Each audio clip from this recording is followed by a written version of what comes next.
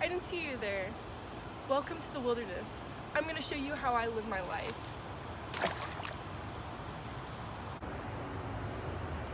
Every day we have to hide from the predators and make sure they can't get to us, so we climb trees.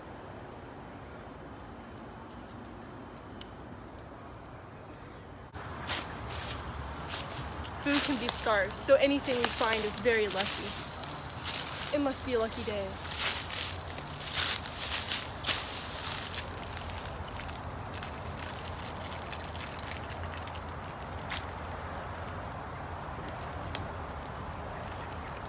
Little ripe, but it's okay. When it comes to the wilderness, shelter is very important. We had to make our own shelter to make do in these harsh weathers. I had to make this by hand with my only two friends, Philip and Felipe.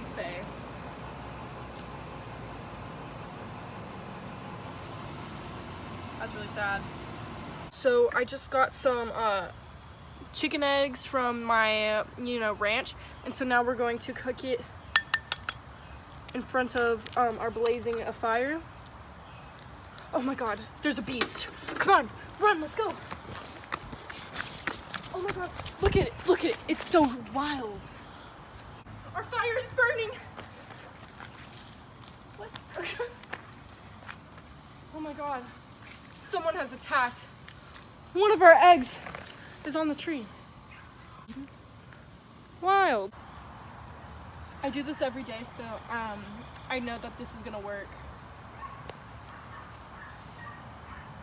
Oh my god, my hand's burning.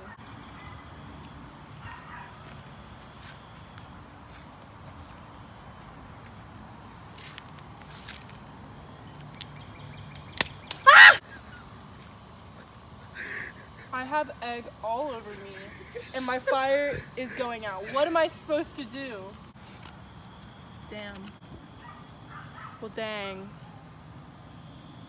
That's wild. Oh my god, I think it's working. I mean, I do this all the time, so I know it's going to work. Thanks so much for watching. Subscribe, like, do whatever you want. I really don't care. I'm just doing this for fun.